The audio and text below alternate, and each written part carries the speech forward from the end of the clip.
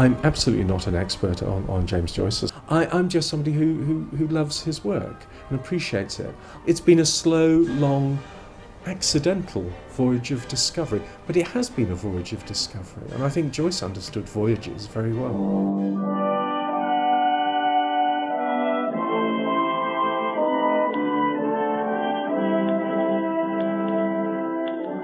No, I was in hospital. One day the trolley came round with a marvellous elderly lady, and they had quite a few paperbacks on it. And there was a fascinating one, and it was massive. It was the biggest grey paperback I had ever seen. It was, ah, Ulysses.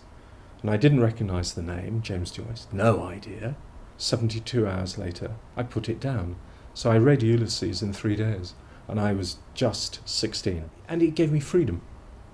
When you can't move at all, books allow you to travel. Actually, I came to Trieste by mistake. The ticket collector came along. Oh, you're on the wrong train. You have to get off. Oh my God, where, where, where am I going?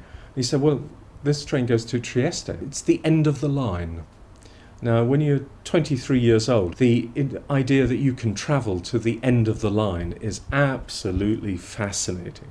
And suddenly, you came out onto this beautiful, beautiful uh, coastline. When I arrived, I felt hugely at home.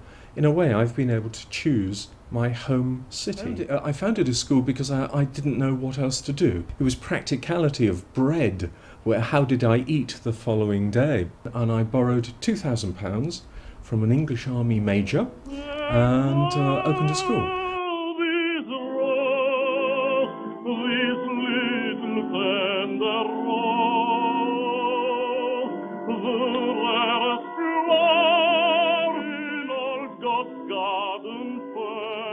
Joyce was in pre First World War uh, Trieste where Trieste was the jewel in the crown. It was the commercial port, immensely wealthy, vibrant. It wasn't just the irredentist movement, because Joyce identified with the irredentist movement here very strongly. He gave talks in the Circolo della Stampa about Irish Home Rule. Trieste was a forerunner in many forms of engineering. It's a hugely culturally vibrant town.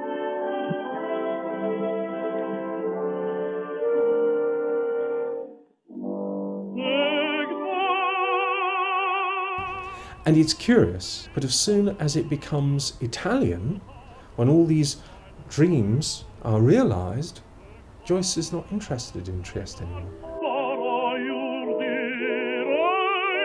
Trieste has still got that creativity today. It's just even more hidden than it used to be. It was very it was very much on the surface, not superficial, very profound, but it was visible and open and tangible um, before the First World War. And today I think you've got to go and look for it. It's there,